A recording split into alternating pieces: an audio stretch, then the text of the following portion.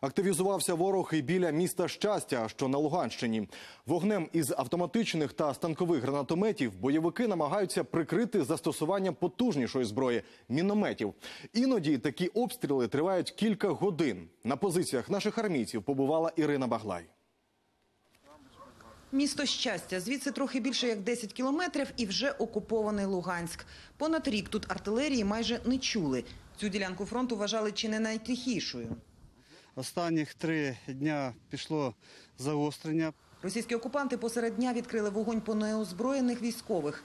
Хлопці саме розносили харчі на позиції, як раптом пролунали два постріли. Одного бійця поранено в ногу, іншого в живіт.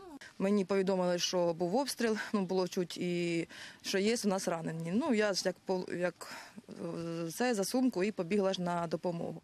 Усупереч законам війни та міжнародним нормам бойовики не припинили стріляти, навіть розуміючи, що поранених намагаються врятувати. Під час евакуації безпосередньо при під'їзді медичної машини обстріли продовжувалися. Але вони вже були неприцільні, вони стріляли на вмання. Несподівану стрілянину в командуванні підрозділу пояснюють новоприбулими групами російських снайперів. І це можна е, судити по характеру поранення, по характеру пострілів. По характеру поранення це десь 7,62 або біля цього. Е, І постріли з дальності 1100-1200. Це професійно підготовлені снайпера. Бійців вдалося врятувати вони у шпиталі. Наступного дня агресія бойовиків переросла вже в тригодинний бій. Найманці обстрілювали позиції військових з мінометів та автоматичних гранатометів. Випустили до трьох сотень гранат, приглушуючи виходи 15 мін. Під час е, розриву гранати з АГС вони робили постріл мінометами для того, щоб пригасити виходи, скажімо так, мінометів, для того, щоб замаскувати позиції тих мінометів.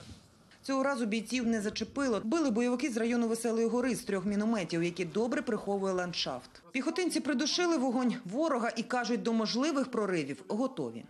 У нас есть вот досвідчені э, гранатометники с большим опытом. У нас есть запас, вот посмотрите, э, гостинцев, так сказать, и вдоль э, это, тут как по прямой, вся техника, э, любая вражеская, будет остановлена. Ірина Баглай, Андрій Костюк, Руслан Ревюк із Луганської області. Новини, телеканал Інтер.